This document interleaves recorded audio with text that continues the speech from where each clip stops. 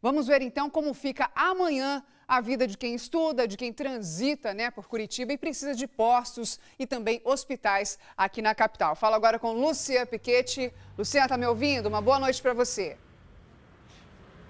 Boa noite, Thaís. Boa noite para quem acompanha o SBT Paraná. Estou te ouvindo muito bem, sim. A gente está aqui, inclusive, em frente a um posto de combustíveis. Há muita fila por aqui, no bairro Pilarzinho. E agora eu vou trazer a lista dos serviços, né? Como é que funcionam os serviços amanhã na capital? Olha, o Hospital do Idoso Zilda Arnes está reagendando procedimentos seletivos. Os demais serviços da saúde funcionam normalmente nesta segunda-feira.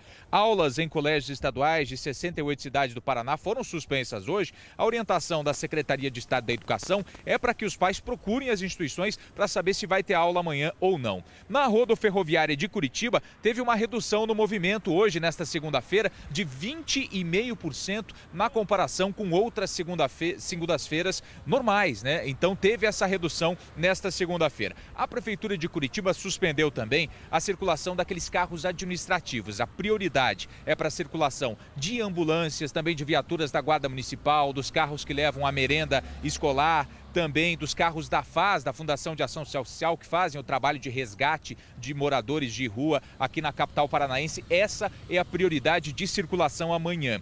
Os sacolões da família da prefeitura, eles vão abrir, mas apenas nesta terça-feira, três vão abrir. As unidades Jardim Paranaense, Carmo, Boqueirão e Pinheirinho. São quatro unidades, portanto. As outras não vão abrir nessa segunda-feira. Já os armazéns da família, os armazéns esses, todos os 33, funcionam normalmente nesta segunda-feira. Então, esse é o panorama dos serviços aqui na capital paranaense amanhã, terça-feira, depois desse dia atípico em que os postos voltaram a receber combustível por aqui.